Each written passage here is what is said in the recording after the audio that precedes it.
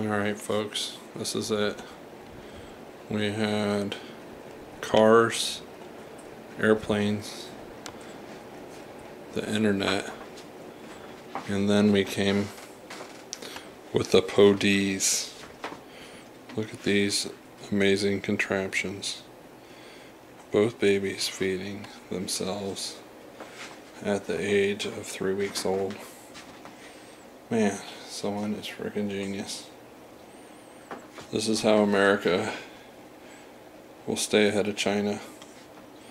One simple step for feeding, one giant step for USA. The Podee.